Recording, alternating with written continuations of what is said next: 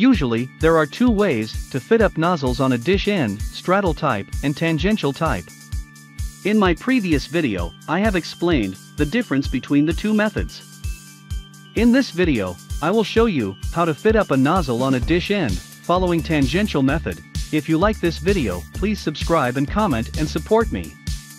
Thanks in advance. First thing to do is, leveling the edges of the dish end. Choose a leveled place or a platform, then put the dish end as shown. There are other methods also. This method is the most commonly used and cost efficient. Check the height of the dish end at the center at least 4 locations. Roughly divide the circumference to 8 parts. Then check the height. The height reading may be slightly different.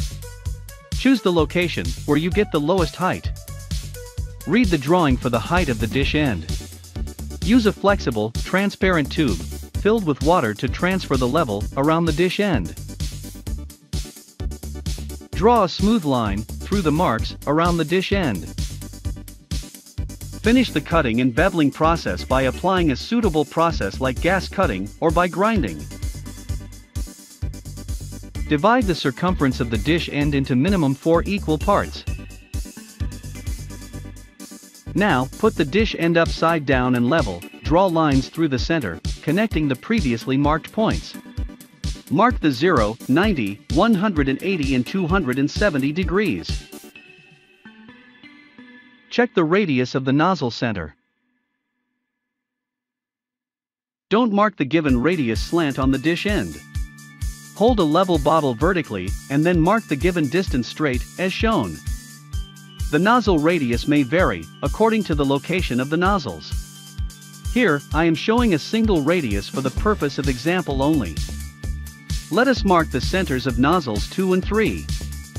Divide the 0 to 90 degree quarter to 3 equal parts, you will have 3 sections of 30 degrees. Let us prepare for the nozzle fit up.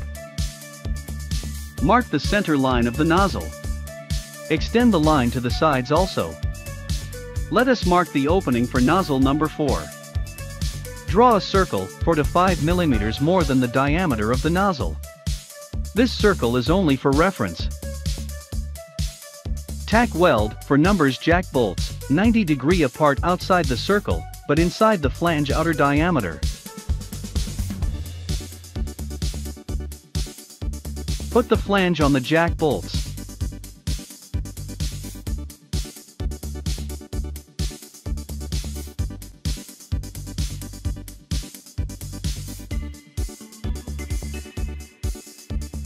Match the center lines. Maintain the top level of the flange.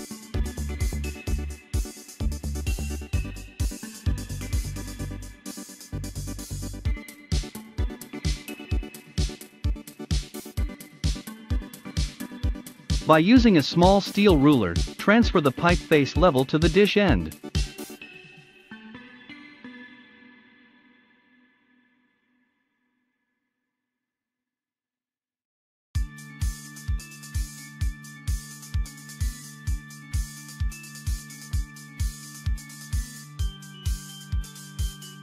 Remove the nozzle and draw a smooth circle. Cut the opening. Prepare the bevel as per the drawing. If there is a reinforcement pad plate, install it. Put the nozzle back on the jack bolts. Match the center line of the nozzle and the center of the dish end. Maintain the level of the nozzle both along and across. Correct the height of the nozzle on both sides of the flange. Check the level again, if everything is under the allowed tolerance, tack weld the nozzle with the dish end. In a tangential nozzle fit-up system, all nozzle centers shall be tangential to the center of the dish end, regardless of the degree of the nozzle.